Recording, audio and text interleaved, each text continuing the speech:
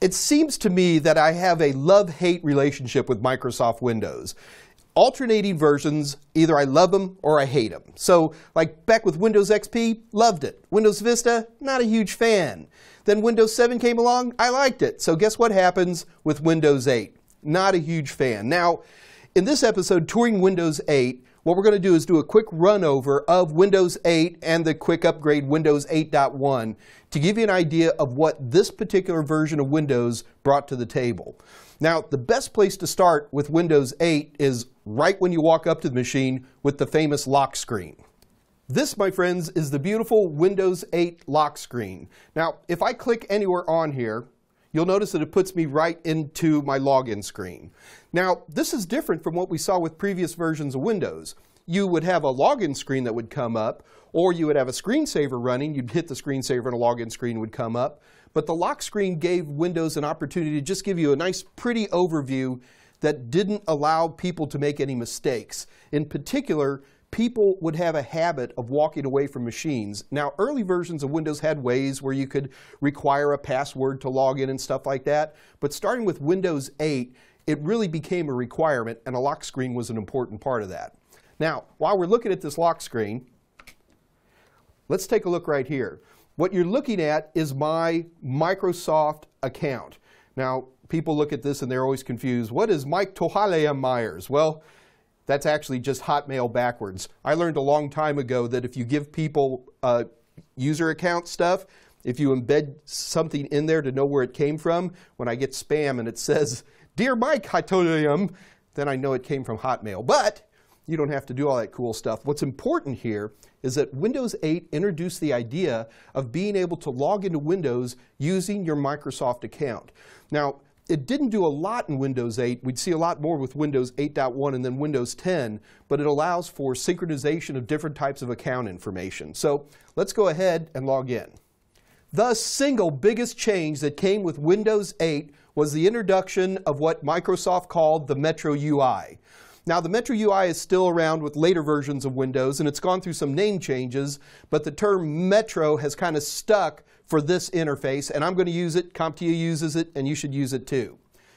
So as we take a look at this, what you're looking at with the Metro UI are, well, first of all, these are known as tiles. So these tiles replace icons for starting programs. Now, I can pick an individual tile, and if you take a look at this particular program, you're going to see this is what we call a Windows app. It goes straight to full screen, and it is designed to work exclusively with the Metro interface.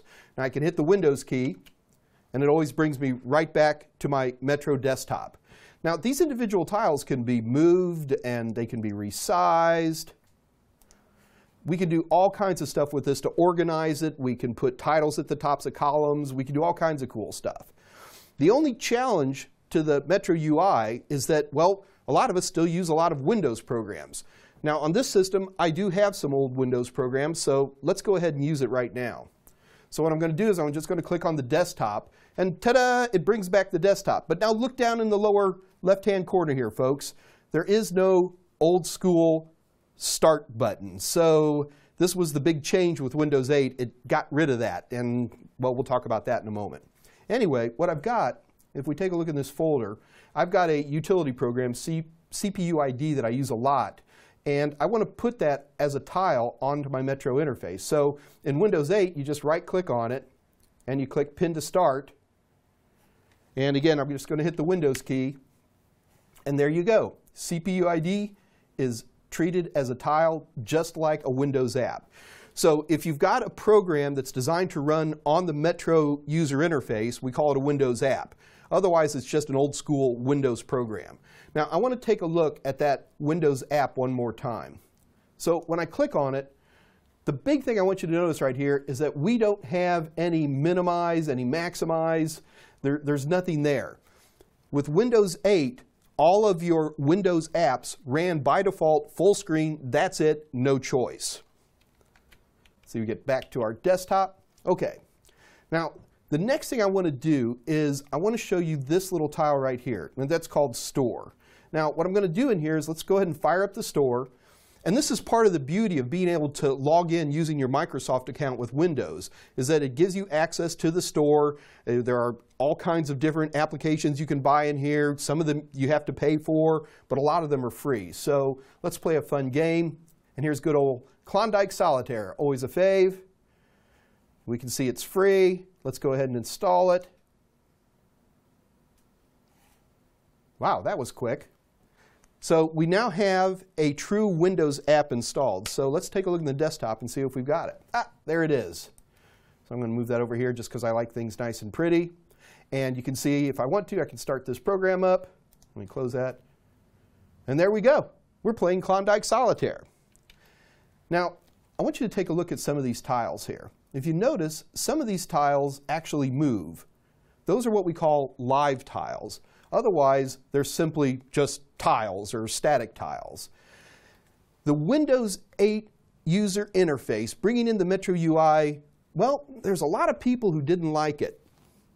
It's not that I have a problem with the Metro user interface. People who use Windows Phone or tablets, for example, love it, and I'm a big fan of it. The problem was, in my opinion, it was a bit too much of a shock for a lot of people. So they kind of said, we don't we want our start button back. And that's where Microsoft brought in the update to Windows 8, Windows 8.1. I've got a copy right here. So this is Windows 8.1. Now, if you take a look at the start screen, the Metro UI has got a few changes to it that make it a little bit nicer. For example, if I want to, I can do a lot more resizing granularity than I could before. Whereas before I could just go smaller and larger in increments, it gives me some nice little presets so I can set my tiles however I want. We also have a nice little pull down that brings up every application that is on my computer, which makes it a little bit easier to find an app that you might need. But that's not all. So the other big thing I want to do here is we take a look.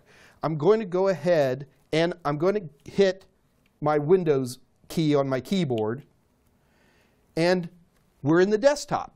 Ta-da! So that's nice, but I want you to look in the lower left-hand corner here. That's right, folks. Windows 8.1 brought back the Start button, but not quite the way we want. If I click on this, watch what happens. Yeah, it just brings back the uh, Metro Desktop Start screen. Now, it's a better thing because at least we have that button, which makes us feel better. That's important. But it really wasn't until Windows 10 that we really got to see this put together, at least in the way that I like. Anyway, let me show you one more really important thing while we're in here. Now I'm going to right click, and you can see we have a number of preset connections to a lot of really important utilities. In my opinion, that was like one of the nicest features that they brought in because now I can right click and I can go to device manager and disk management, my task manager, all kinds of tools, just a right click and you get right there. Okay, now one more thing I want to do before we head out is I'm going to pick a program here. So let's pick, uh, oh, photos. I don't think I have much in the way of photos on here. But what I want you to see, what we didn't have in Windows 8, is that we can now close and minimize applications. So I'm going to close this, and I'm right back to a desktop. So that, folks, is really all you need to know for Windows 8.1. Hey, Mike, what about the Charms Bar? What about the Charms Bar? The Charms Bar. All right. There are certain utilities that I personally have never been a big fan of that were in Windows 8 and 8.1. And in particular, we need to talk about the Charms Bar.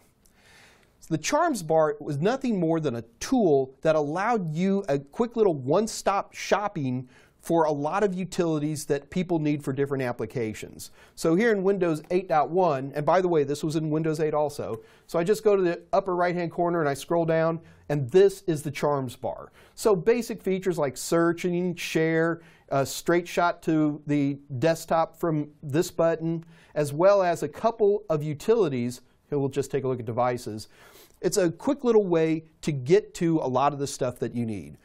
Windows 10 dumps the charms bar, but with Windows 8 and 8.1, it was there, and a lot of us did nothing more than taught ourselves how to turn it off because every time you went to the right, it was like bang.